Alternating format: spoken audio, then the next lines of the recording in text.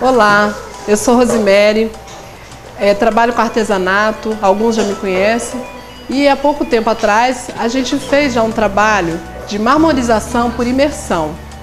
Esse trabalho, na época que apresentamos aqui no programa, nós destacamos que era muito importante fazer com as crianças. E hoje, como vocês tiveram a oportunidade de conhecer o Centro Social São José de Calazans, que acabou de passar aqui para gente, nós viemos então aqui fazer esse trabalho com as crianças. Hoje eles serão os artesãos mirins para fazer a técnica marmorização por imersão.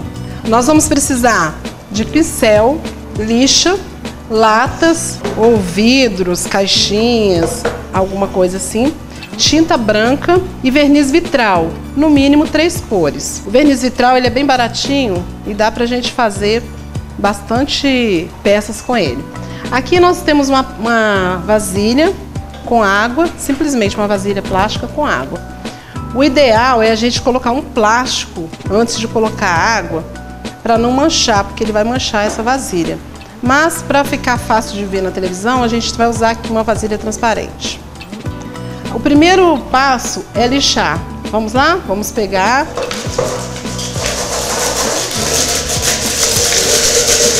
Esse processo de lixar não tem o objetivo de tirar toda a tinta não, nem o que está escrito.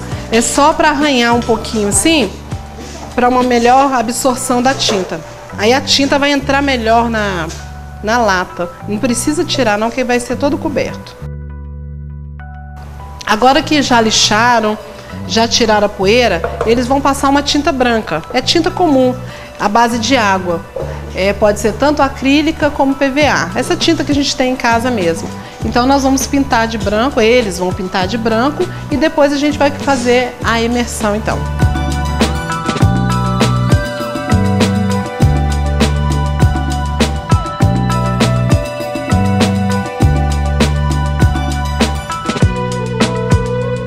Todos já passaram aqui a primeira mão do Prime, a demão do Prime, e ainda ficou um pouco de cor original da lata.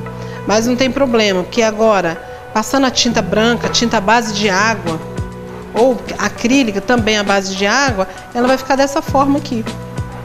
E ficando assim, ela já está pronta para marmorizar.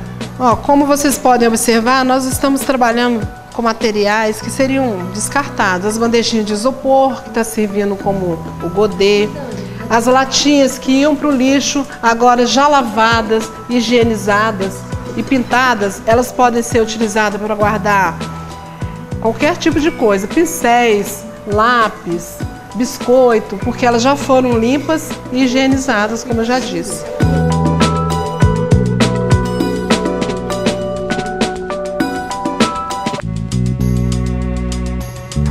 Aqui todas as latas já estão pintadas de branco, mostrem as latas. Então nós vamos pegar agora o verniz vitral, são como eu já disse, são é, três cores no mínimo. Três cores já são suficientes. Eu vou botar o azul, esse aqui é o vermelho fogo e um pouquinho de verde. É muito legal colocar amarelo também, porque eles vão fazendo as cores, outras, outras cores, né? A gente faz uma leve mistura, assim, não é nem para misturar as cores em si, só para desmanchar algumas bolinhas que se formam. Então a gente olha, se tiver formado alguma bolha, a gente fura a bolha. Aqui não tem muitas bolhas não, tá legal para trabalhar. Então a gente só vai mergulhar. Nós já fizemos aqui as latas, mas eu vou fazer primeiro uma demonstração com uma caixinha. Foi o mesmo processo. A gente pintou de branco, e agora a gente vai mergulhar. Suja a mão um pouquinho, mas fica legal, vale o trabalho.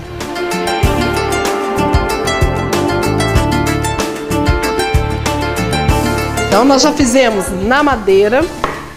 Agora nós vamos fazer no vidro. Nós vamos fazer no vidro, é a mesma coisa. Pode ser feito em vela também. Dá uma arredondada, uma circulada assim.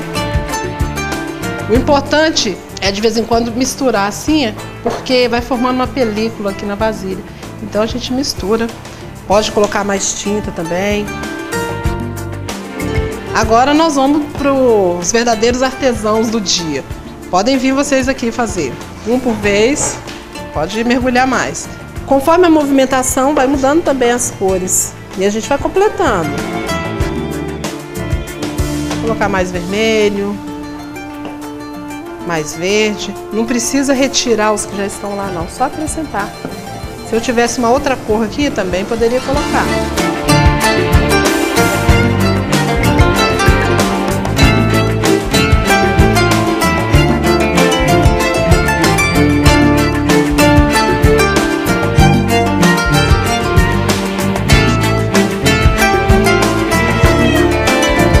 Agora, para finalizar o nosso processo de decoração de latas, como eu falei, elas podem ser reaproveitadas para colocar doces, salgados, lápis, a variedade é muita. Na mesa, uma mesa de festa pode centralizar com uma flor, enfim, são muitas as, a utilidade delas. E agora a gente chama aqui a Ana, que é a nossa educadora referência do projeto Centro Social, também para fazer, para colocar a mão na massa, ou a mão na água, como queira.